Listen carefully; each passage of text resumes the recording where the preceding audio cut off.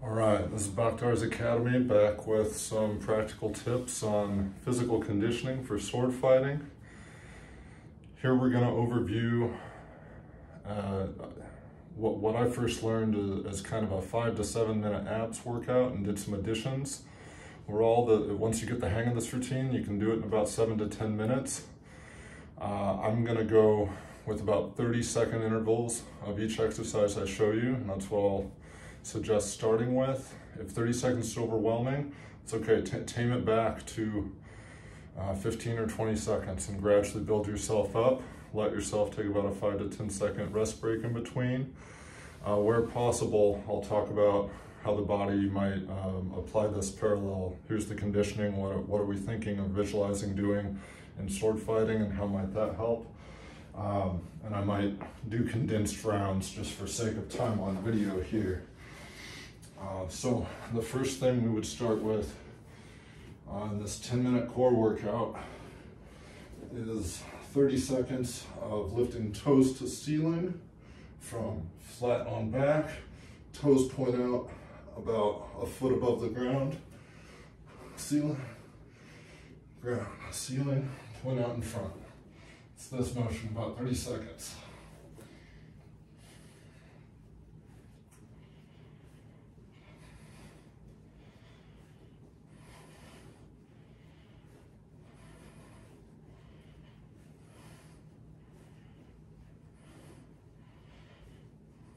Okay, can come down for a brief rest.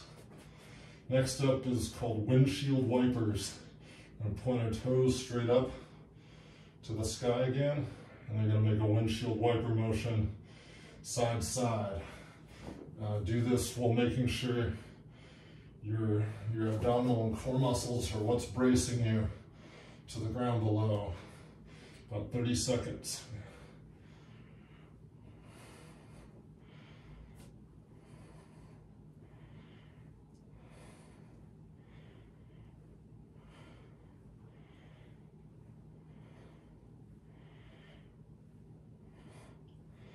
This is pivoting and keeping strength in our center, our core, as we're adjusting the direction of our body from any given position. Okay, that's windshield wipers. Next up, this looks a little goofy, but does a lot. Our hands are gonna come up over our head and leg comes up, opposite arm comes up. Lift like you're giving a high five to your shin, or you can do a clap underneath your leg, alternating the sides. High five shin, high five shin.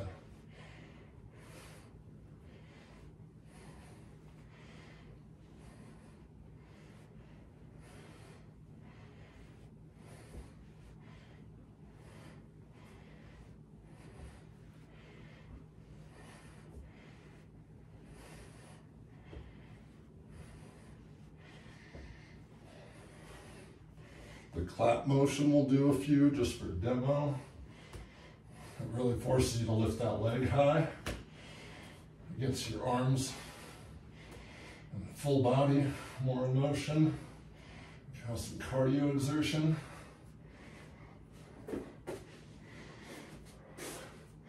That's the third exercise.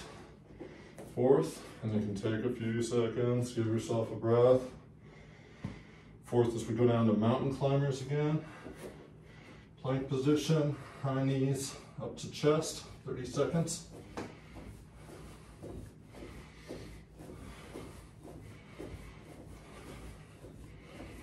Again, we're using anything that we're ever gonna lunge forward with. Your core through your knees being able to lift off and exert forward momentum is how that's gonna be applied to to sword fighting. You do a full 30 seconds. Next up is an abs focus and kind of a fun parallel to sword fighting blocks, as I like to envision it. So sitting, Try to get our bony part of our butt flat on the ground. Knees come up, feet cross, side to side, using the core, flexing your abdomen as you put hands, elbows, one side of torso, other side of torso. 15 seconds one way. And cross your legs back over. You can envision as you do this, I'm actually outward blocking outward blocking. Pull my elbow, wrist back to take a block, take a block. This is a body pivot block and working your core. If you want to visualize doing the blocking as you pivot, use it, practice it. You'll think about getting a good body mechanic where you pivot your, your weapon block right over where you're gonna guard your hip, your abdomen. So in real life combat, instead of doing here, just, just your arm and still maybe getting wrapped, it's torquing your body elbow sideways. So you're gonna have a really secure perpendicular block on people's wide wraps. Hand floating right above that hip and abdomen that you gotta protect. Okay, so there's side to side. You can do that with a medicine ball too. If you want to add some challenge, add some weight. All right, that was our fifth exercise. Here's number six, affectionately called Spider-Man planks. Back into a plank position. I like to give a little knee up and across a few seconds. And here, knee is up and outside for 15 seconds holding. Right knee is hovering next to right elbow. Lifted in a plank. Go full 15 seconds, put the leg back. Come over to the other one. Left knee is hovering towards left elbow and plank. Hold for your full 15 seconds. And come back down. So 15 seconds each side. There's your Spider-Man plank. We'll come back to a flat on back position, legs upright. We'll cool down for a moment. Toe tips up. Make circles one way, pointing towards the ceiling. Just drawing a circle repeated one direction, 15 seconds.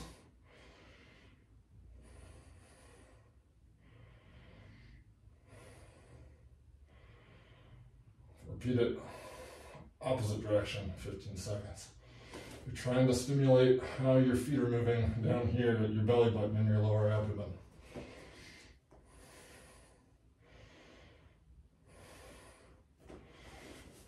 Down.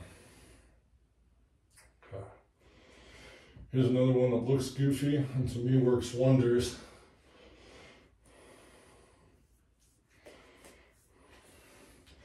Toes up. Imagine there's a rope going from, from your belly button and solar plexus up to the ceiling. Reach and grab and slowly pull down, climbing that rope up 30 seconds. You're lifting your chest slightly up towards your knees with your abdomen. And take this gentle crawl, like kick stroke if need be with your feet. Really trying to keep the work happening from your abdomen.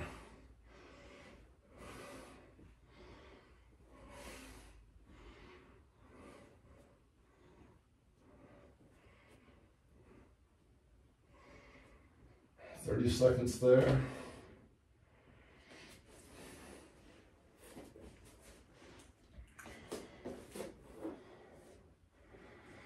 Okay, our next one We're going to come back to our plank position. Here we're going to do an elbows up plank. So plank to the ground, up to elbows, fists in front of my face, elbows down with some spread underneath me. And this is a, a pivoting dip. So on my right side, go down to my hip is almost at my mat, just hovering an inch or two above the ground Hold it there a few seconds and back up. Like one, two, three, side hover. Back up to straight. One, two, three, side hover. Back up to straight.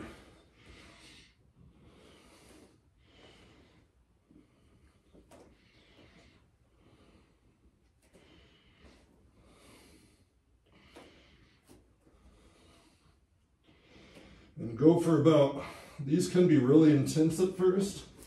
You can try about five either side. If that really maxes you out, that's okay. Work your way up to about seven either side, or up to 20 total, 10 either side. And again, you're getting a lot of this abdomen in all dimensions, and not just the, the center, but a lot of your obliques. And anything pivoting, anything swinging, anything adjusting direction, sideways lunging, this will build the stability for that. And we'll come back to a final one laying on the back. and do some scissor kicking legs. You can put hands under your butt a little bit as a support if you like. Feet up. And start with flutter kicks. 30 seconds of flutter kicks, just back forth like you would flutter kick doing a crawl swimming stroke. Again, you're engaging down here in your lower abdomen to support what's going on up in your legs. And you can change them up 30 second, 30 second chunk. It's gonna be side to side scissors.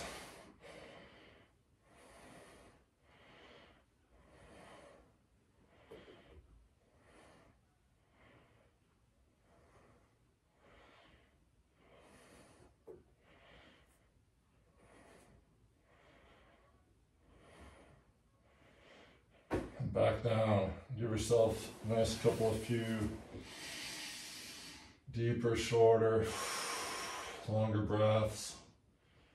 You can let your body melt into your mat. Letting go while staying present and conscious in your body. And there you have uh, a roughly 10 minute core workout. Uh, if you're looking to up the challenge, you can gradually work up to 40 second instead of 30 second increments for each exercise. You can do the same routine, two circuits in a row back to back.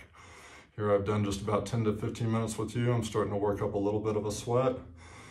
You'll feel the exertion of a workout. You never had to go to the gym. You never had to involve any fancy machines or weights. So good luck to this empowering you with some routines you can use on your own at home.